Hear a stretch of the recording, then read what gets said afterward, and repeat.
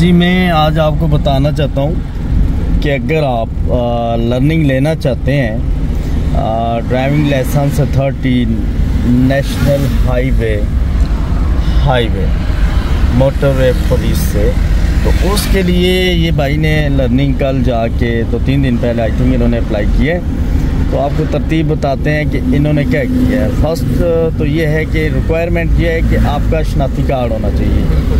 वो district matter नहीं करता कि हरीपुर से है इस्लामाबाद से है किधर से पाकिस्तानी होना ज़रूरी है। ऐसे ही है जी? तो आप गए हैं सबसे पहले कहाँ गए हैं जी? सर मैं सबसे पहले Islamabad H eight phase two में गया हूँ जहाँ पे इनका सेंटर है। हम्म, वहाँ पे सबसे पहले ये सामने कर दें। यूँ यूँ उस तरह रखें अच्छा।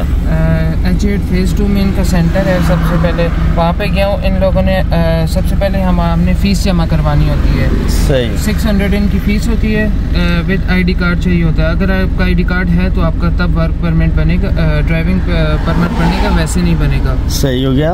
ठीक है उसके बाद फिर लामा इकबाल यूनिवर्सिटी में आपको फ़ीस जमा करवानी पड़ती है। फिर हम लोग वापस Allama Iqbal university. Open university वहाँ पे आपको फ़ीस जमा करवानी होती है।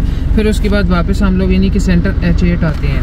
उधर हम लोगों का सबसे पहले मेडिकल होता है। मेडिकल के बाद डाटा एंट्री होती है उसके बाद आपकी पिक्चर्स लेते हैं फिर उसके बाद आपका इशारों का टेस्ट भी होता है। लर्निंग लेने से पहले आपका टेस्ट होगा। हाँ, साइन अगर तो आप साइन का टेस्ट। अच्छी अगर तो आपका पास हुआ तो तब आपको ये मिलेगा वैसे नहीं मिल सकता यार। मतलब आपको साइन बोर्ड क्लियर है होनी चाहिए।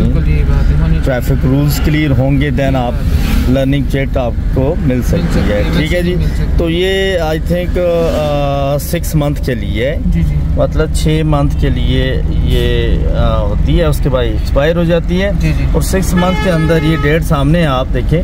इस डेट से इस डेट तक आप कहीं भी जाके किसी डेट में किसी भी दिन जाके वहाँ टेस्ट दे सकते हैं। ड्राइविंग से रिलेटेड आपका टेस्ट होगा। फिर आई थिंक के हफ़्ते के अंदर अंदर आपको लाइसेंस मिल जाएगा। अगर आप एन हैं आप ड्राइवर हैं तो ये तरीक़ाकार है जी। अगर आप इस्लामाबाद से अपनी लर्निंग लेना चाहते हैं तो उसके लिए इस भाई ने आपके सामने सारी बातें रख दी हैं। टोटल इसका ख़र्चा सिक्स हंड्रेड रुपीज़ आया है। और शनाख्ती कार्ड होना ज़रूरी है। बिना शनाख्ती कार्ड के ये चीज़ आपको नहीं मिल सकती।